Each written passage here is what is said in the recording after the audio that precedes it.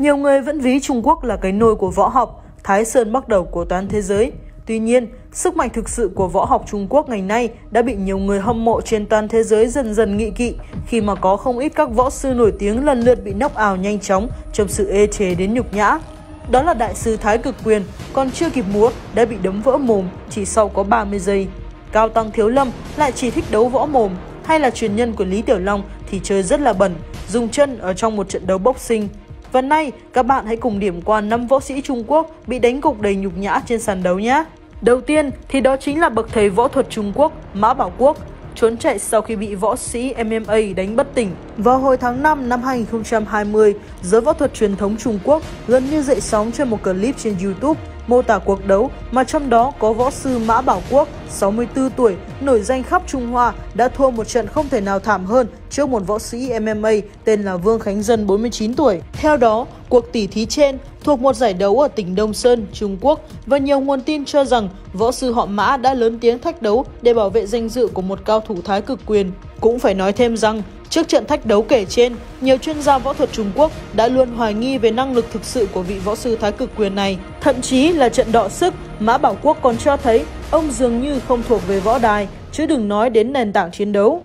Sau khi bị đánh gục hai lần trước khi ăn một cú móc tay phải chơi dáng của tay đấm họ Vương, cái kết mà võ sư họ Mã nhận về sau cùng đáng buồn thay không phải là những lời tung hô chiến thắng mà lại là một đôi mắt sưng húp và tím bầm. Chứ mà cái cú nhất phải kể đến đó chính là màn thua đau chỉ sau chưa đầy 30 giây nghênh chiến. Sau thất bại kể trên, Mã Bảo Quốc đã trở thành tâm điểm chỉ trích từ dư luận Trung Quốc về việc cao thủ này đã bồi nhọ truyền thống võ thuật nước này. Dường như là cũng vẫn còn quá cay cú. Sau một thời gian dài né tránh dư luận, bậc thầy thái cực quyền họ Mã đã đăng đàn trên tài khoản mạng xã hội với tuyên bố muốn giải nghệ do bị chế giễu dữ dội. Trong đó, các video chế giễu võ sư họ Mã lại nổi lên lan truyền với hàng triệu lượt xem trên trang ứng dụng Bilibili và Weibo của Trung Quốc. Sau đó không lâu, võ sư này cho biết ông đang trở lại cuộc sống yên bình, rời xa võ thuật. Thế nhưng mà, sau một thời gian, ông ta lại dở cho bán thảm, nói mình bị lừa đến tham gia cuộc đấu và đương nhiên lại nhận về cơn mưa lời chế giễu từ cộng đồng mạng vì dám gáy bẩn mà không dám nhận. Đến nỗi, các video chế giễu trận thua knockout trong 30 giây võ sư họ Mã đã lan truyền ở Trung Quốc với một tốc độ quá nhanh, buộc hai ứng dụng trên phải xóa video. Thế nhưng, thay vì cố gắng xóa những lời chế giễu của võ sĩ gây tranh cãi, động thái được cho là nỗ lực hạn chế sự hiện diện của võ sư họ Mã trên mạng sau khi truyền thông Trung Quốc cáo buộc ông này đã đầu độc các giá trị của Trung Quốc thông qua những trò hề. 2. Cố tình bày trò, võ sĩ Trung Quốc bị hạ knockout nhục nhã. Có câu, Nhất thời sợ kẻ anh hùng, nhi thời sợ kẻ bần cùng liều thân. Thế nhưng mà xem ra trong trường hợp này thì sợ nhất vẫn là những kẻ trí phèo ăn vạ. Bởi vì dù là mang danh võ sư, danh sư gắn liền với sự mạnh mẽ và oai vệ, nhưng mà thanh niên này lại có thể nằm dài ăn vạ ngay trên sàn đấu, khiến đối thủ chỉ biết lắc đầu ngắn ngẩm như thế này ở đây. Theo đó, dù liên tục nằm ra sàn đấu, dù đối thủ chẳng chạm vào mình, võ sĩ Trung Quốc Wingele vẫn phải nhận cái kết đắng khi bị đối thủ dẫm tới tấp vào mặt. Trước đó, tình huống diễn ra trận đấu giữa võ sĩ người New Zealand gốc Nigeria là Andesania và võ sĩ Quingele người Trung Quốc tại võ đài ASB Kohimarama, New Zealand ngày 19 tháng 9 năm 2015. Cụ thể, ở hiệp một trận đấu, cả hai võ sĩ đều giảm nhịp độ để chuyển sang lối đánh rình rập. Lúc này, võ sĩ Trung Quốc mới chủ động bay cho phòng thủ bằng cách nằm xuống sàn. Ngay lập tức, Iran Andesania lao vào tung đòn tấn công liên tiếp nhưng mà không thể nào hạ gục đối phương bằng đòn knockout. Sang hiệp 2, võ sĩ Quingele của Trung Quốc đã tỏ ra thận trọng hơn. Trong khi đó, Adesanya lại liên tục dồn đối tượng vào góc đài và khiêu khích đối thủ của mình.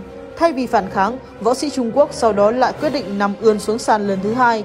Tuy nhiên, không còn lao vào tấn công như lúc đầu, Adesanya lúc này đã vẫy tay mời đối thủ đứng dậy để tiếp tục thi đấu. Qua hai lần bày trò đáng xấu hổ, võ sĩ người Trung Quốc đã phải nhận kết đắng khi mà cố tình nằm xuống lần thứ ba. Lần này, Andesania đã không nương tay mà lao tới, tung ra loạt cúi trỏ như trời giáng trúng mặt khiến cho Quingele không thể nào chống đỡ và chỉ biết nằm in trên sàn và hưởng thụ. Ngay lập tức, trọng tài đã lao vào can thiệp và tuyên bố chiến thắng thuộc về Andesania. Về phần Quingele thì khỏi nói rồi, đã đau thì chớ, lại còn nhục nhã ê chề nữa chứ. 3. Thần sức mạnh Trung Quốc Ca khịa từ Hiểu Đông bị ông chú đánh cho tơi tả.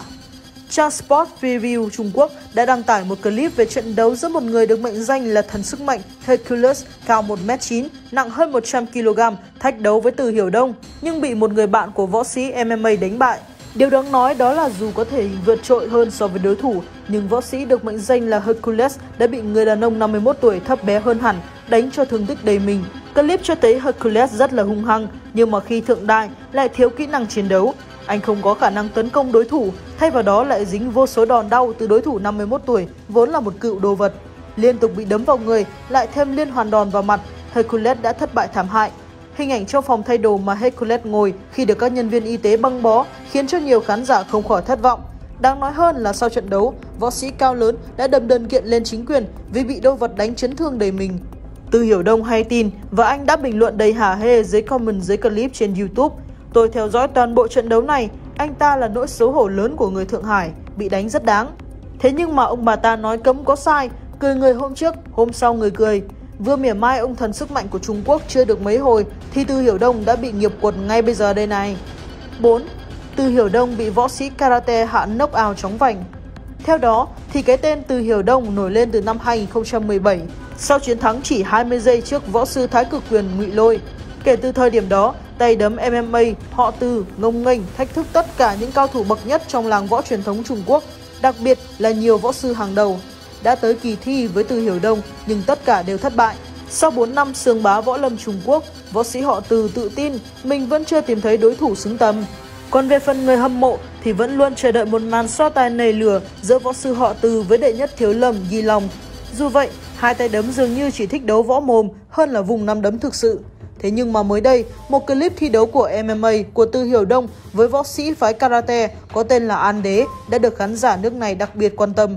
Theo đó, đây chỉ là một clip cũ được cắt ra từ một trận đấu khi Từ Đông học võ karate thời trẻ. Nội dung clip cho thấy cuộc tỉ thí giữa Từ Hiểu Đông với An Đế đã kết thúc đầy chóng vánh. Sau những tình huống đánh đứng, hai võ sĩ đã chơi địa chiến và Từ Hiểu Đông đã sơ hở để cho An Đế bắt tay khóa siết chặt, buộc anh phải xin thua.